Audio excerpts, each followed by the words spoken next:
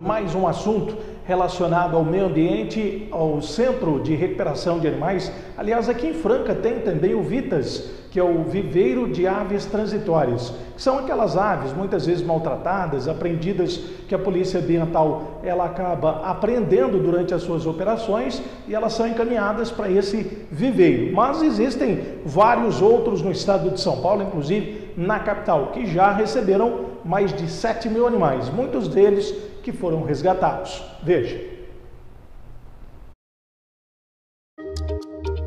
O CRAS é um centro de triagem de animais silvestres que recebe todo animal silvestre que por algum motivo saiu da natureza. O principal motivo ainda é o tráfico de animais. Em alguns momentos, nós também fazemos o resgate quando os animais são encontrados, principalmente nessas ocorrências de tráfico, em situações debilitadas.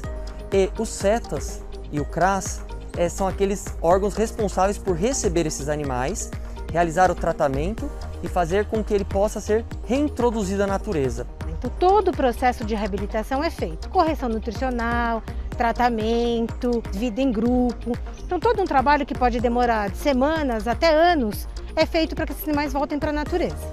Por sorte, aproximadamente 70% desses animais conseguem voltar. Trabalhamos em parceria sempre com esse serviço de fiscalização ambiental por parte do policiamento ambiental e o CETAS e o CRAS fazendo a recepção e reabilitando esses animais para a vida selvagem.